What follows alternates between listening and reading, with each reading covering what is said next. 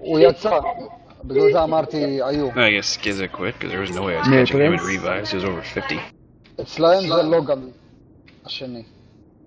ואצלנו זה פרינס?